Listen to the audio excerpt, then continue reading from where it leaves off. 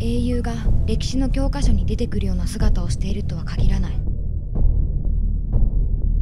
世界が混沌を迎える時まるでそれを待つようにして英雄が生まれる。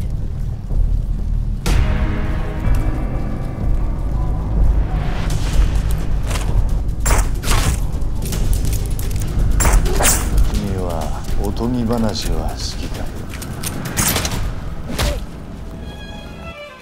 伝説のリボーンゴーストもその一つだ。